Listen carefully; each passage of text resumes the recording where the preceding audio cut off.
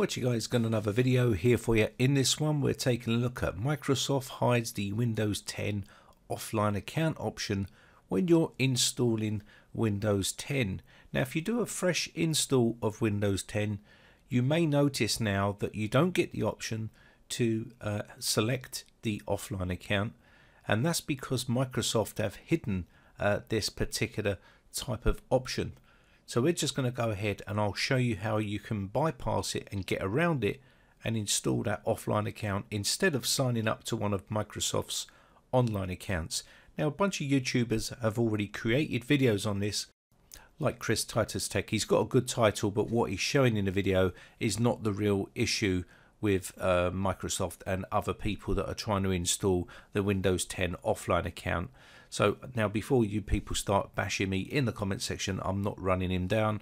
I'm just using his video as a reference because what he's showing is not the real problem. I'll show you what the real problem is in a second where they've removed the offline account altogether. It's hidden and the only way you can get that back up to install an offline account is either uh, install Windows 10 as a Microsoft online account and then log off and then set up an offline account or you can uh, disable your internet connection and go back and it will then uh, give you the option to do an offline account. So let me just quickly show you that uh, process here and then you'll get an idea of how to uh, work around it. So it's just getting to this stage now where you'll be able to see uh, the new uh, feature that Microsoft have added into their installation process, you can see we've got the network connection up the top there, which means it's checking the network and then it gives you the option of the account, which is only the sign in to Microsoft account. So they've removed the option to do the offline account.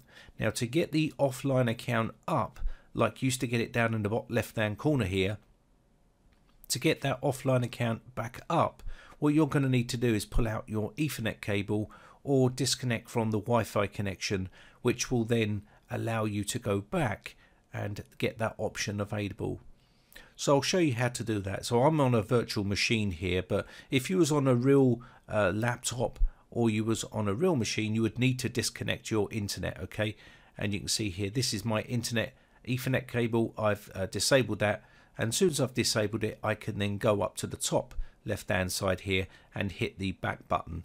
Once you hit the back button it will start checking uh, again and it will say just a moment and it's checking for an account and also for an internet connection again and once it realizes there's no internet connection it will give you the offline uh, installation connection it's a bit sneaky from Microsoft and it's probably to get you to sign up to their Microsoft account so they can uh, monitor you and collect more data from you.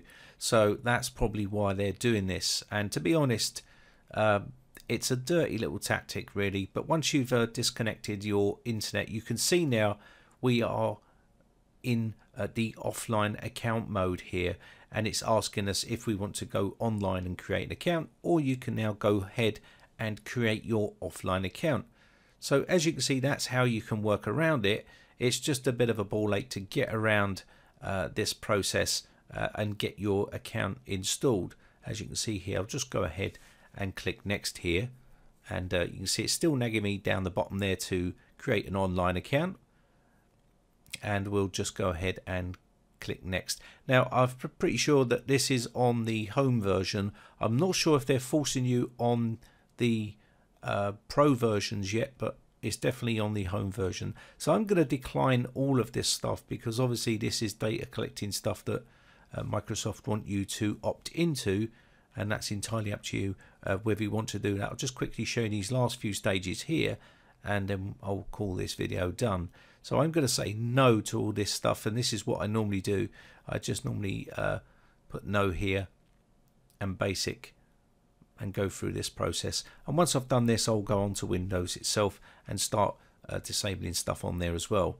That's a shame that you have to go through this whole process, but it's just what Microsoft seem to be doing with their Windows 10 operating system. So if you do watch Chris Titus Tech's video, then point him in this video direction, and that way he can see exactly what uh, the problem is. Perhaps he didn't quite understand what the main issue is what he was showing was completely different to uh, this problem what you're seeing here. So this is um, the operating system once it's installed and uh, once you get this installed you can now go into account and you will be able to see uh, your account. Now if you didn't have a disabled internet connection and you had to sign up for the Microsoft account then what you can do is come into your account section here and uh, click off uh, the account there and sign in with an offline account you can still do it that way I'll probably make a video to show you how to do that but that's basically going to be about it for this video that's basically how you can uh, bypass their Microsoft online account and get to the offline account by using the disable Ethernet or Wi-Fi method. My name has been Brian from briteccomputers.co.uk. Thanks again for watching guys and thanks for your continued support. Have a great day and I shall see you again for another video real soon. Bye for now. Now if you haven't subscribed yet, hit the big red subscribe button on my YouTube channel and hit the bell notification button next to that to be notified when we upload new videos.